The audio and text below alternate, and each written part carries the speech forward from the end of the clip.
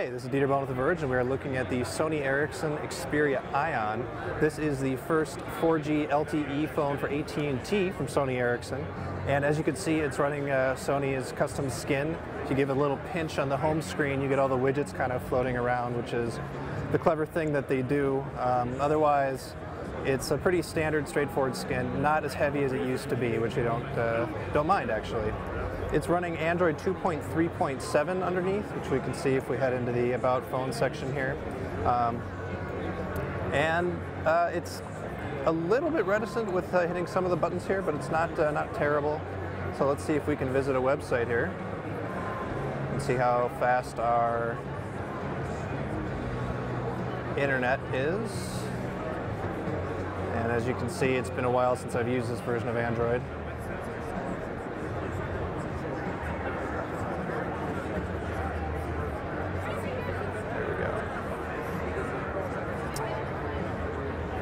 AT&T LTE seems to be holding up pretty darn well here at uh, CES.